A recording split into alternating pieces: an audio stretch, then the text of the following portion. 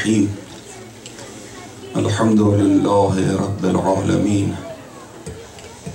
وصلى الله على سيدنا محمد وآله الطاهرين. اللهم صل على محمد وآل محمد. سيما بقية الله في الأراضين روحي وأرواح العالمين لتراب مقدمه الفداء. ولعنة الله على أعدائهم أجمعين إلى يوم الدين. اللهم كل وليك الحجة ابن الحسن. صلواتك عليه وعلى آبائه في هذه الساعة وفي كل ساعة.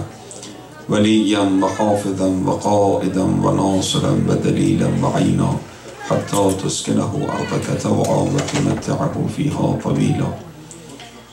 این میلاد خجسته را اولا خدمت صاحب مجلس فرزند عزیزشون وجود مقدس حضرت بقیت الله الاعظم ارواح العالمین لتراب مقدمه الفدا تبریک عرض می کنم و خدمت شما حضار محترم برادران خواهران محترمه این روز را و مناسبت را و این ایام که متعلق به اون بزرگوار است و به جا به نام روز زن و روز مادر نامگذاری شده یعنی معروف شده در بین مردم متدینین. این رو خدمت همه عزیزان خصوصا خواهران و مادران ارزشمند. تبریک و تهنیت عرض می کنم در یک روایت روایتی که مرحوم شیخ نقل می کند در فروع کافی هم هست.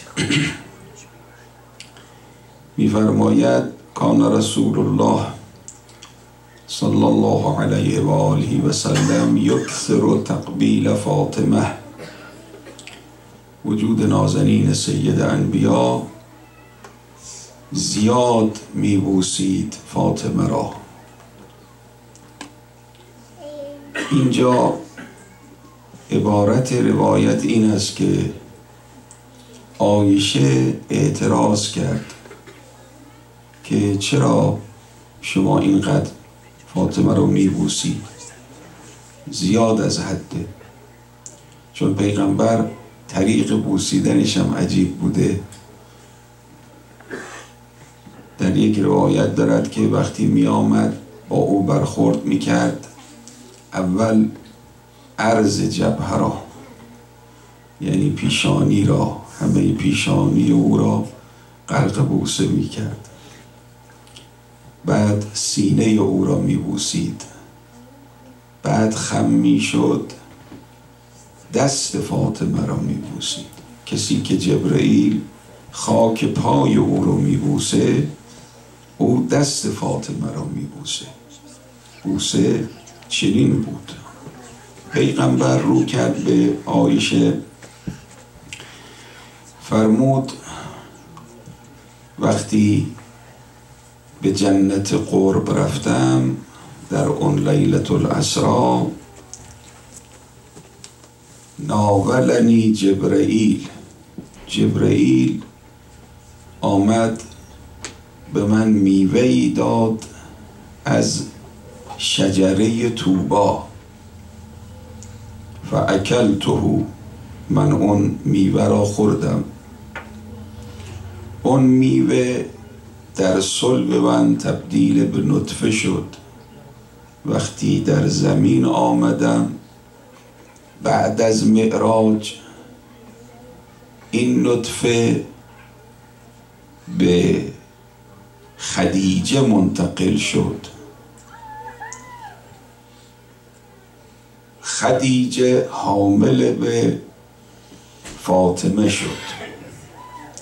منشأ تکون فاطمه این میوه بهشتی شد. حالا این میوه چی بوده؟ اختلاف روایات بعضا دارد سیب بوده بعضا دارد انار بوده بعضا دارد مجموعه ای بوده. هرگاه به آیشه فرمود هرگاه او رو میبوسم بوی شجره توبا رو از او استشمام می‌کنم. در یه روایت دیگه که جابر نقل می‌کنه جابر ابن عبدالله انصاری. جابر میگه پیغمبر فرمود کنت اذا اشتقت الى الجنه شممت رائحت ابنتی فاطمه هر وقت مشتاق بهش میشم چون او دیده. ماها ندیدیم. ما نمی‌دونیم بهشت کجاست نه چی هست. او که در لیلت الاسرا دید. فیه ما لا عین رأت ولا اذن سمعت ولا خطر علی قلب بشر. در اونجا چیزی است که نه کسی دیده نه کسی شنیده و نه کسی به قلبش خطور کرده. مثلا ما الان فکر می‌کنیم خب بهش چجوریه؟ چشمون رو میبندیم فکر می‌کنیم مثلا یه قصرهای بزرگی و درختهایی و اینها. ولی هر چی که میفرمد شما فکر می‌کنید بهش نیست. بهش غیر اینه. هر چی که شما خطور کنه ولا خطر علا قلب بشر. ولیکن او که دیده او می‌فهمه که بهشت یعنی چی. جنت المعوا یعنی چی. صدرت المنتها یعنی چی؟ شجره توبا یعنی چی؟ وجود او و تکون او اینو عرض کردم مکرر برای عزیزان برای هیچ پیغمبری وسیعی کسی نیست این چنین که منشأ تکون جسم او چنین میوهی باشه چنین شیء لطیفی باشه. این گونه به وجود بیاد. فلما سویته و نفخت فیه من روحی. این جسم که تصویه شد اون روح میاد. کدوم روح؟ اون روحی که امام فرمود خلقه الله من نور عظمته. خدا روح او را غیر از روحهای دیگر روحهای دیگر روح امر پروردگار روح شیء عظیمی است برای همه انسان ها ولکن این روح خلقها من نور عظمته. سایرین از نور خداست این از نور عظمت خداست. فرق است بین نور الله و نور عظمت الله. و اینه که فاطمه شناس عالم میفرمد ما نمی‌تونیم درک بکنیم. عقل مردم فهم مردم نمی‌رسه به درک مقام او منزلت او. سمیت فاطمه. فاطمه یکی از معانی فاطمه یعنی قرد شده. لان الخلق فتمو عن معرفتها. مردم بریده شده دست معرفتشون که به او برسن. که حقیقت او چیست؟ و قول استاد مایت الله وحید فرمودن همین یک کلمه پیغمبر را اگر دقت بکنه کسی اذعان می‌کنه که نمی‌توانیم بفهمیم. شعار نیست. و اون یک کلمه اینه هی انسیت الحورا تعبیر خاتم شخص اول عالم وجود. از اون حضرت به اینه انسیت الحورا انس حورا ملک تجسد درش نیست. همش تروح روحه. جسم انس تجسده. چطور جمع شده بین وجودی که هم انسیه است هم حورا؟ نمیشه کسی انسیه باشه حورا باشه. که حوراست ملکه یه وجود دیگری است دیگه. توجه میفرمایید؟ چطور جمع کرده دست قدرت خدا نور عظمت خدا؟ البته اینا مقدمات داره مثل همین قدم اول که تکون جسمشه جسمش مثل جسمای مردم معمولی نیست که از گندم و عرض می‌شد جو و میوه های این دنیا و آب و خاک این عالم. نه آب و خاکش فرق می‌کنه. آب و خاکش شجره توباست. سه چشمه آبیاری می‌کنه شجره توبا رو. سلسبیل معین تسنیم. این سه چشمه چیه؟ این آبی است که تروابه ها. به وسیله این آبها این چشمه ها در جنت قرب این درخت که خدا خودش کاشته قرص الله به یده خودش کاشته این درخت توبا را درخت توبا رو روایاتشو برید ببینید. قوقایی است. خدا این درخت را این گونه بعدا از هر قصری که شما نگاه کنید اشراف داره. درخت توبا به همه قصور بهشت اشراف داره. شاخه ای از توبا اونجاست. اگه نباشه نیست. حالا سرش چیه اینا چیزاست که باید بریم انشالله اونجا هممون اهل بهشت بشیم. کنار اهل بیت اونجا بفهمیم. که یک شاخه از اون شجره توبا در اون قصره. که این بهشتی فیه ما تشتهیه الانفس و تلذ الاعیون اون چی که اشتها داره از اون شاخه باید بگیره. ثمره او ثمره این درخت میشه منشه تکون جسم جسم یک بشری چنین بشه. بعد وقت می‌خواد فاطمه زهرا رو من آقا فاطمه زهرا بله یک انسان نمونه مثلا در خانداری در همسرداری در مثلا چی؟ نه فوق اینه. اون کسی که وقتی می‌خواد متولد بشه ابتدا اینه. قبل از تولدش که روح خلق شده فرمود قبل از خلقت آدم. فرمود این نور رو خدا معلق کرد به عرش خودش. راوی از پیغمبر سوال می‌کنه یا رسول الله قضاش چی بود؟ فرمود قضاش تحمید و تحلیل و تسبیح. لا اله الا الله. سبحان الله. الحمدلله.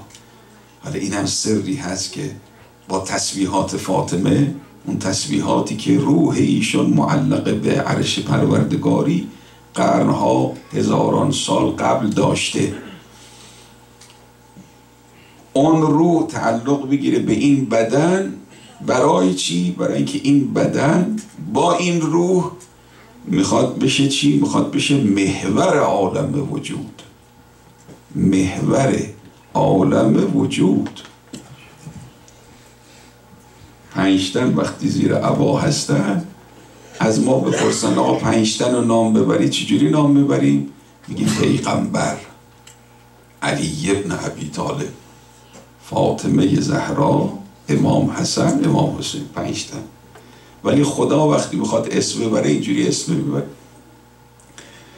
خدا وقتی خطاب کرد که من این آسمان و این عالم و به خاطر این پنج نفر الذین هم تحت الکسا آفریدم جبرئیل سوال می‌کنه از خدا و من تحت الکسا؟ خدای کی زیر عبا اینا کی هن؟ اینقدری خلاصه حلوا حلواشون می‌کنی؟ تو عرش قوقا را انداختی؟ خدا اینجوری نگفت پیغمبر و علی خداوند فرمود هم فاطمتو و ابوها. فاطمه و پدرش. فاطمه و شوهرش. فاطمه و حسنش. فاطمه و حسینش. خدا این گونه معرفی می‌کنه. میشه یک زن محور عالم وجود بشه. این مقام زن مقام زن این نیست که غربی ها میگن ایشون فرمودن الان. آجای صادقی مقام زن این نیست که بگیم بیاد مثلا کجا بشینه چی کار بکنه. اینا شعارم میدن اما وقتی می‌خوان معرفی کنن آزادی اینها خودشون در عرض می‌شود که فیلم هاشون تلویزیون هاشون اینها زن رو وسیله تجارت قرار میدن.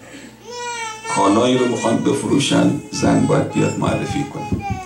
هرچی هم بی حیاتر باشه لختر باشه میگه جاذبش برای خرید و فروش اینا. پس این دید این فکر. اسلام چی میگه؟ اسلام میگه زن می‌تونه به مقامی برسه که مرد به گرد او نمی‌رسه. زن به مقامی می‌رسه که محور عالم وجود بشه. از این بالاتر بالاتر از محور عالم وجودم داریم بگی بله. از این بالاتر بیاد بشه مخزن اسرار الله این سر اینی که فاطمه باید تصویه بشه.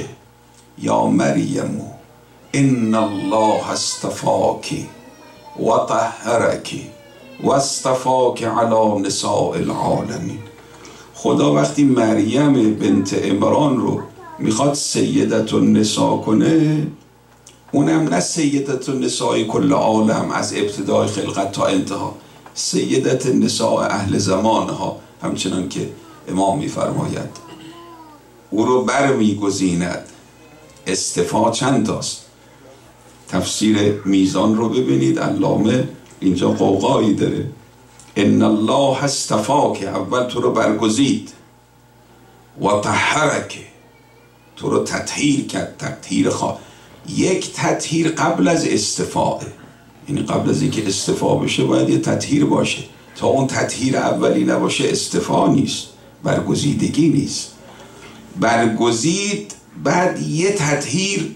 تطهیر خاصه و طهرکه بعد از اینکه تطهیر دوم بعد از استفا برگزیدگی شد واستفاکه گفتی دیگه یه دو کلمه اونورترش.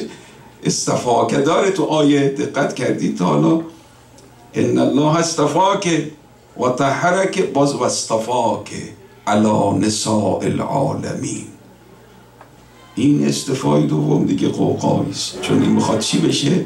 بشه سیدت و نسا حالا یه کسی که می‌خواد سیدت نسا من الاولین و الاخرین بشه میشه زنی به مقامی برسه که در عالم بشه محور و در عالم بشه مخزن سر. سر کی؟ سر خدا. سر خدا. اللهم انی اسألك بفاطمة و ابیها. و بعلها و بنیها و سر المستودع فیها. سر المستودع فیها. بشه مخزن سر الله.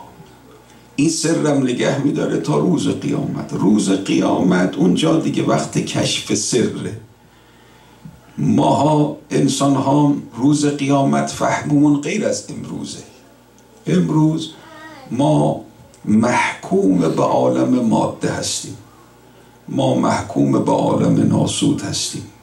ما محکوم به عرض می شود که محجوب بودن از ملکوت هستیم. حالا برای بعضی هم پر پرده رو گاهی کنار می‌زنن این هم یه گوشه ایست اونایی که اهل سیر و سلوک بودن یا اهل کشف و شهود بودن مثلا فرض بکنید این هم یک گوشه ایست مثل اون نکته ای که اگه یادتون باشه محرم خدمتون عرض کردم. مطلبی رو از استادمون ایشون فرمودن که شخصی خواب بود مرحوم آخوند رو آخوند خراسانی. گفته بود که گفته بود چه خبر؟ اون طرفی که خواب دیده بود که انه فهمیده بود تو خواب متوجه بود که آخوند از دنیا رفته. تو خواب از ایشون پرسیده بود که از اون طرف چه خبر؟ اون طرف یعنی در عالم برزخ دیگه هنوز قیامت که نشد. ایشون گفتن که به این آقا فرمودن مرحوم آخوند که شما نمی‌فهمید امام حسین یعنی چی؟ ما نفهمیدیم. کسی که استاد الفقها شاگردانش امثال آقای خویی هستن. ما نفهمیدیم امام حسین. اینجا اومدیم فهمیدیم امام حسین چی کار است. ایشون میفرمودن اینم حد فهم عالم برزخه. باز یک فهم دیگه ای در قیامت هست که پرده کنار میره. یوم تک شفو برای تو بل السرائر یوم یک شفو انساق یوم تو بل السرائر روزی که پرده ها رو دیگه خدا کنار می‌زنه. فبصر و کل یوم حدید. قرآن چشم دیگه می‌بینه. صاحب بصیرت میشه. دیدش حدید. اون روز و وقت می‌فهمه این سر کی بود؟ فاطمه که بود؟ نصار روح متحرش صلوات خد.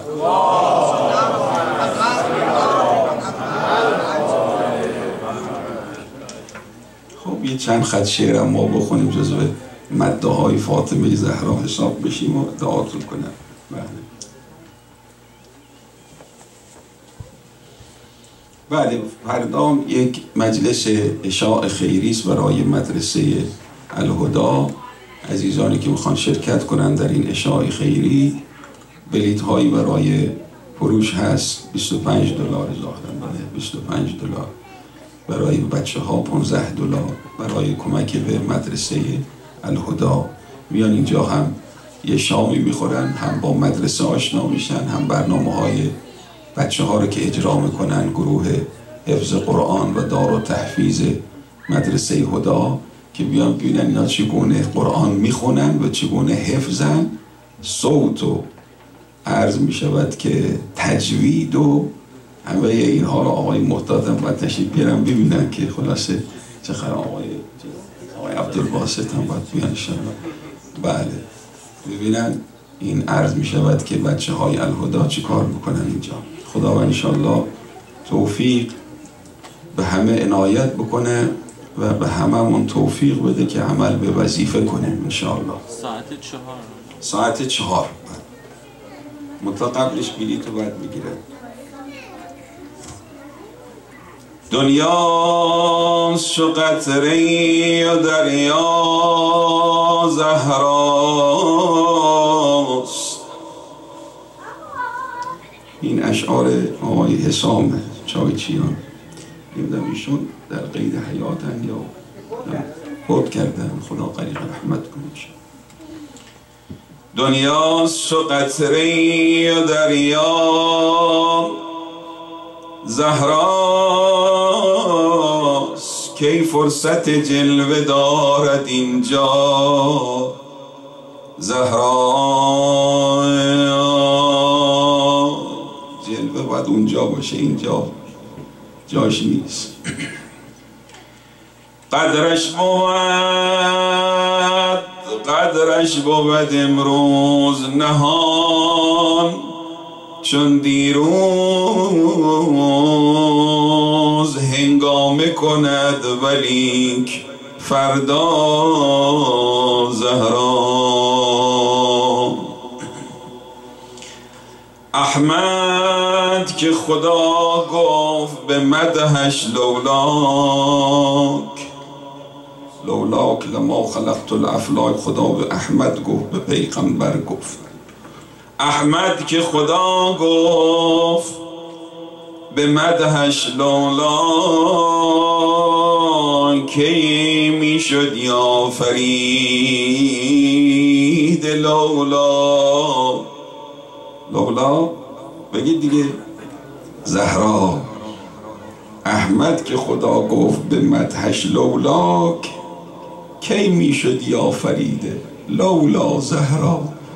چون بعدش خطاب کرد اگر تو نبودی عالم رو خلق نمی کردم بعد گفت اگه علی نبود تو رو خلق نمی کرد بعد اگه فاطمه نبود شما دوتا رو هم خلق نمی کرده لولا فاطمه لما خلقت کما این شعر اشاره به این روایته خدا رحمتش کنه خیلی اشعارش ریشه روایی و آیه آیات قرآن داشت.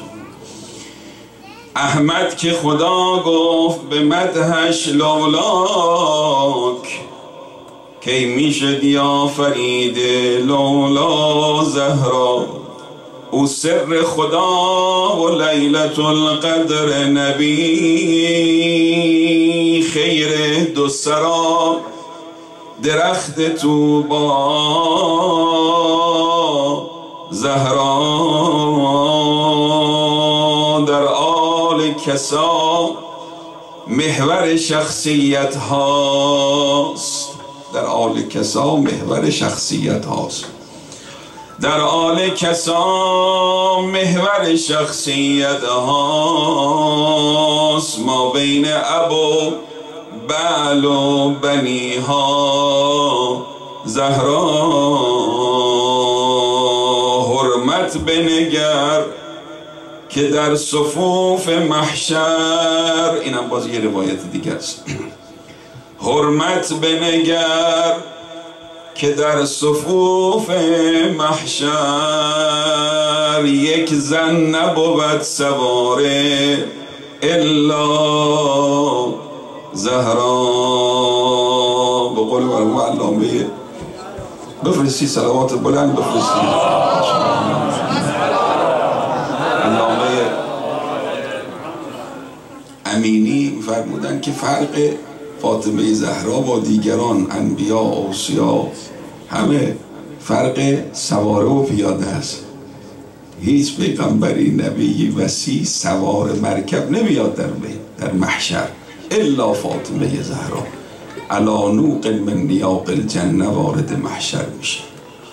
حرمت بنگر که در صفوف محشر یک زن نبود سواره. الا زهرا هنگام شفاعت. چو رسد روز جزا کافیست برای شیعه. تنها زهرا. خوش به حالتون چقدر باید شک کنی تو مجلس حضرت زهرا اومدی. بی حاجت هم نشین هم که داری گوش میدی. حوایزت مد نظر بگیر. حیف است حسانا که در آتش سوزد. آن شیعه که ورد اوست. زهرا زهرا. بازم صلوات.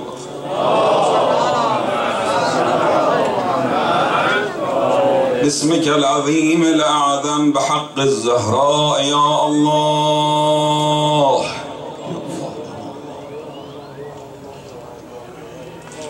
پروردگارا ما را بیامرز.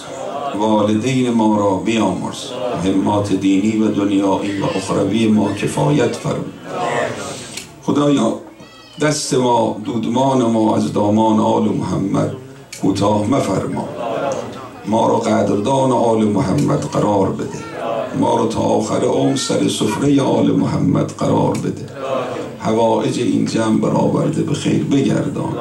گرفتاران عالم همه مستضعفین مستمندان کسانی که نیاز دارن کسانی که در جنگ هستن کسانی که در گرفتاری هستن. به حقیقت زهرا همه گرفتاری هاشون برطرف بفرما. شر اشرار رو به خودشون برگردان. مریضانایی که مد نظرن به حقیقت حضرت زهرا لباس عافیت بپوشان. ثوابی از این مجلسمون بهره نثار روح در گذشتگانمون عائد واصل بفرما به نبی و آله الفاتحه مع السلام.